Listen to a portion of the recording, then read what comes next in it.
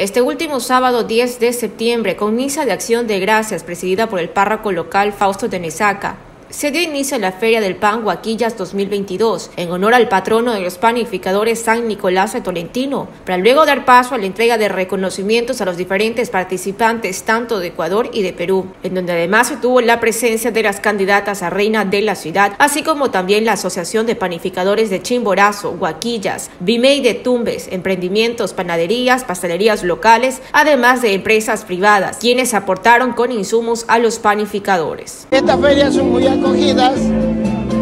porque en realidad todo es gratis. Ahora tenemos la asociación de Tumbes, los fabricadores de Tumbes de Río que también nos han apoyado en esta vez.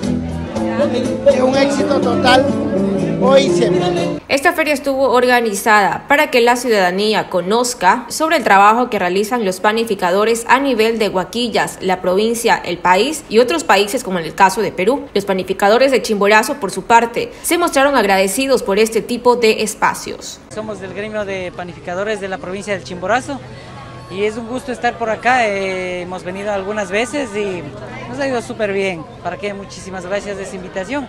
Estamos aquí haciendo una degustación del pan especial que tenemos de la provincia de Chimborazo, que son las cholas del Cantón Guano. Los panificadores de Chimborazo mencionaron que ellos llegaron con su tradicional chola de guano, para que la ciudadanía conozca un poco más sobre su gastronomía. El evento continuó justamente con el recorrido de los diferentes stands, quienes expusieron sus productos y emprendimientos, además de realizar la degustación gratuita, en donde los fronterizos se deleitaron de los deliciosos panes, postres, tortas y demás productos de los panificadores.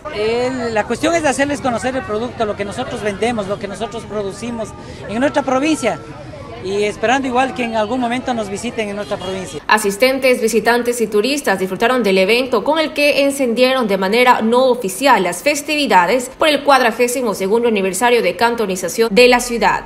Desde el cantón Huaquillas, Tatiana Saltos, Fusión Informativa.